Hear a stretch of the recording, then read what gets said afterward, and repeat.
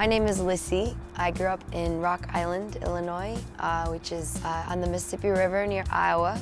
Over the last, you know, six years, have been living in Los Angeles um, and playing at bars and kind of developed a scene with my friends who happen to be musicians and, um, you know, really just been hustling and hitting the pavement.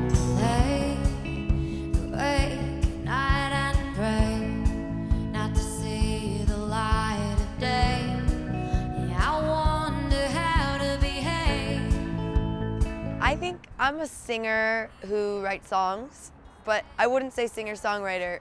So, you know, I don't think I fit into like a certain style of music because because I can sing, I could really sort of sing anything depending on how I feel. I think you could take the blues, you could take soul, you could take folk, you could take musicals, rock and roll, um, country. You could really take any of those things and I could potentially kind of be that.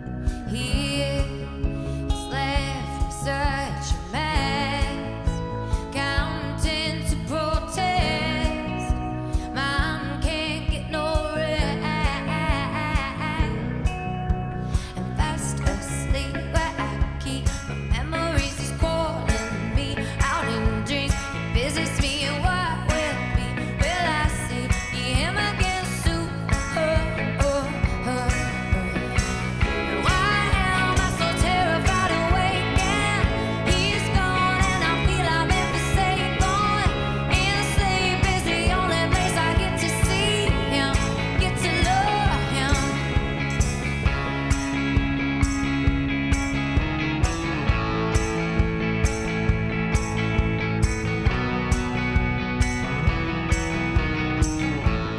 think being from the Midwest makes me real talkative or like interested in strangers and I end up meeting all kinds of people.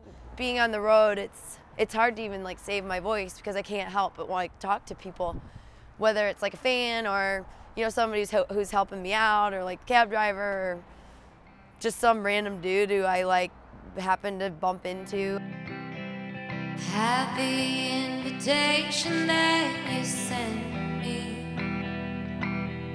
You wanted me to see you change your name. I'm comfortable with how I look. And I've always just sort of worn what I wanted to. My parents let me. Like I was always very unaware of how I looked. You know, it's like, it's not even like I'm trying to be natural or raw. It's just, it's just how I, how I am.